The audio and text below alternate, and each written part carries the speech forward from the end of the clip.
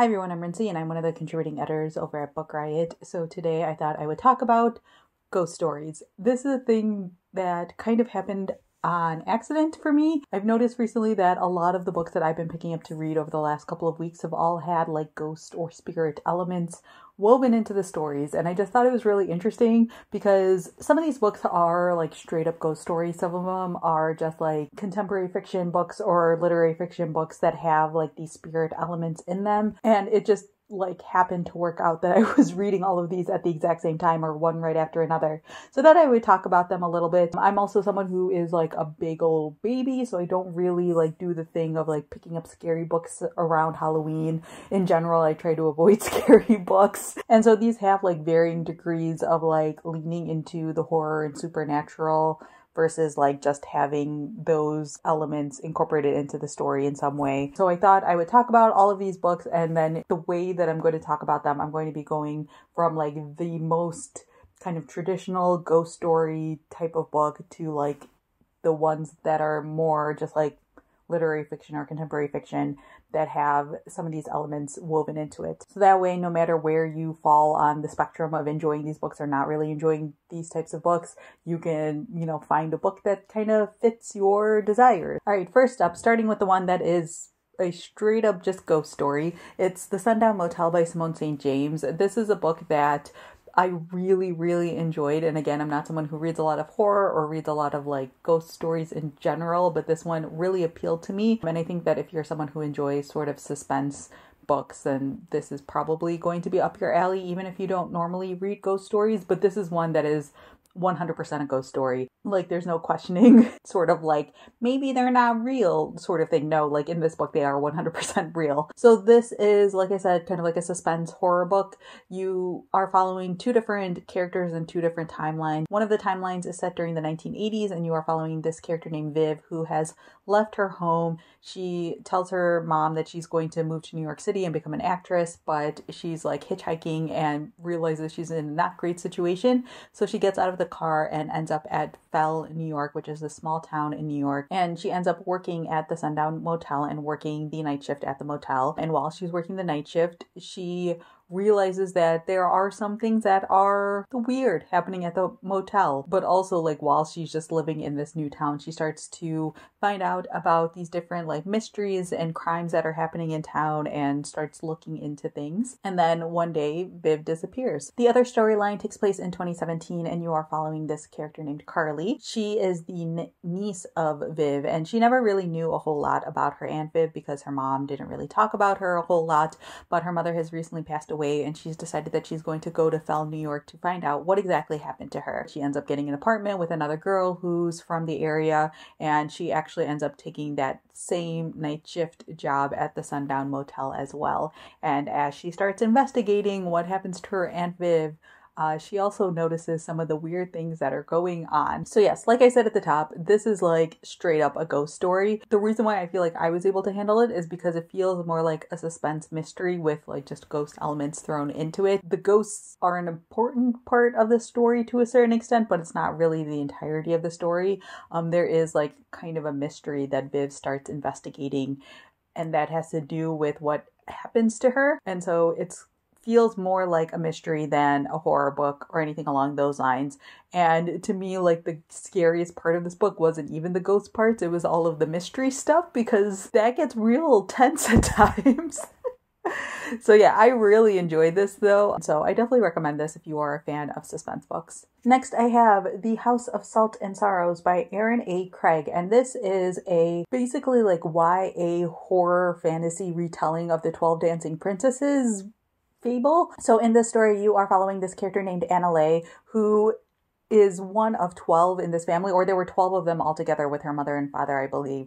And this family has been like plagued by tragedy because their mom and now three of the sisters have died. And so they've basically spent like the past four years completely in mourning because someone in the family keeps dying. But as Annaleigh starts to look into things a little bit, and now that the third sister has passed away, she starts to wonder if maybe these weren't accidents. There were certain things in the beginning that made them think that like this just happened to be like bad luck on their family in like a metaphorical sense because like their mother died in childbirth. One of their sisters like fell from a high height and one of them like was starting to have like mental breakdowns and things like that and so they think that that just happened to lead to her eventual death but this third sister that has just died it looks like she fell from a cliff but Annaleigh is like looking into things and she starts to find out that there was someone, like a guy in her life that she was potentially going to run away with. She starts to wonder did this guy have something to do with her death? Did someone find out that she was with someone else and then push her off the cliff? All of these different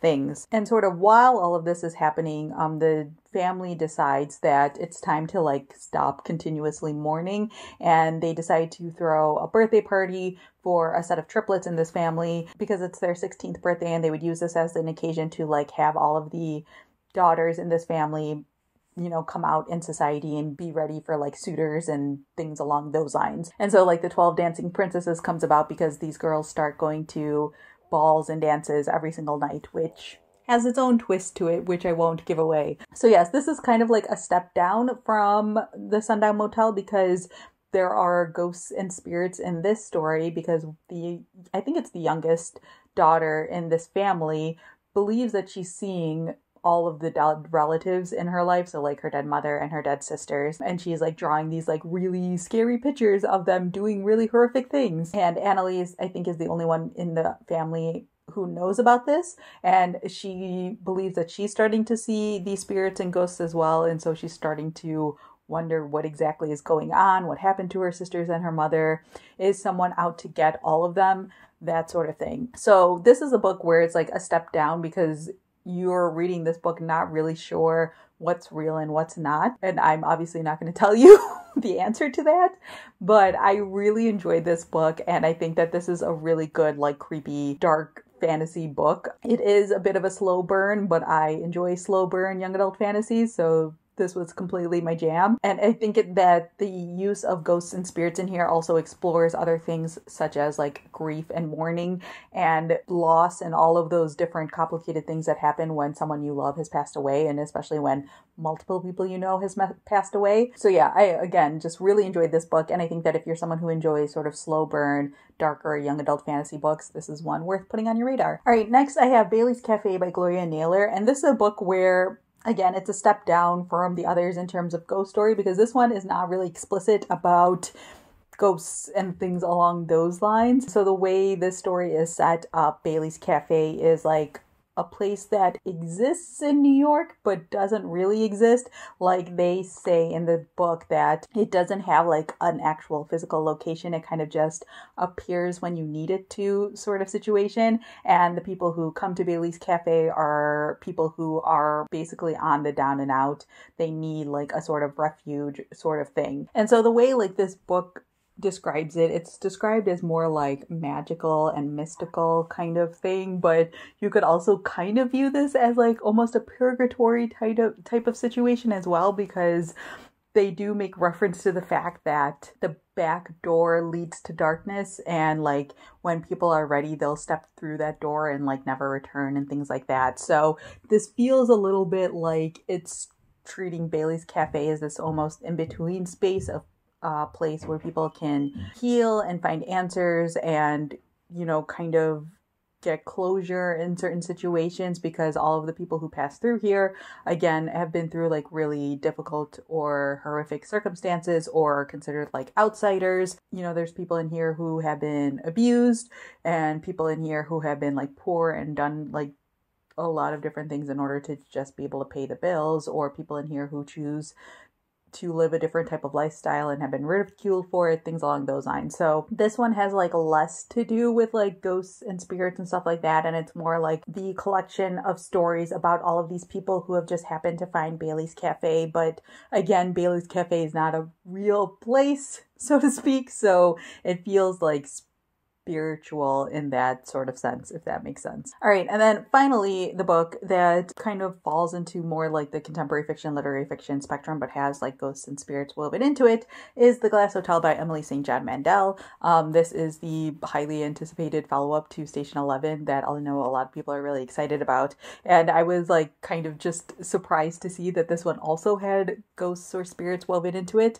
Um, I'm not going to do like a full breakdown of how it all works, uh, partially because it also isn't completely explained how it all works. But you follow a lot of different characters in here and you follow them through like various points of their life. And there are certain ones who you see them as they're basically like on the decline and they start to see ghosts or spirits of people in their past. It feels very like Christmas caroly in that sense because you know, there's one character in here who, you know, it's not a spoiler because it says it on the blurb, basically runs a Ponzi scheme. And so he starts to see like the spirits of the people that he like ripped off. There are people who like committed suicide because like they lost their entire life savings. And so he starts to see the spirits of them as well. Um, but there's also other characters in here who start to see like ghosts and spirits and things like that. And so this one is at the bottom of the list because again, it's not stated explicitly in any sort of way, sort of if these ghosts or in spirits are considered real or if they're just like, you know, hallucinations,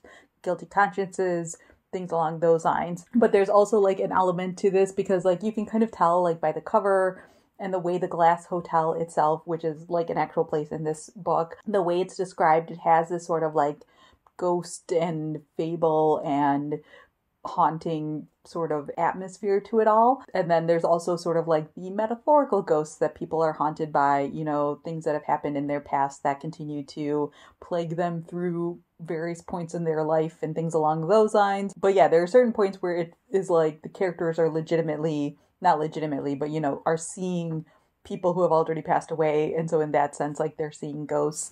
But whether or not in this book they're actual ghosts or it's just like a manifestation of something that's happening in their head. You know, it's not really explained explicitly, but they Emily St. John Mandel uses that sort of idea and style to explore the choices that these characters have made and how they feel about it now that time has passed. So, those are the four books I wanted to talk to you all about today. Let me know down in the comments below whether or not ghost stories are your thing or not, and sort of like how you feel about the various ways ghosts and spirits are used in books. Um, if you're someone who like prefers your ghosts to stay in like straight up ghost stories, if you like it when ghosts and spirits are used in more like contemporary literary fiction to be a larger metaphor for things and of that sort of stuff. And if you have any recommendations of some books that you enjoy that have like elements of ghosts and spirits woven into it, definitely leave that down in the comment section as well. So yeah, that's all I have for this week, and I will see you all next week. Bye.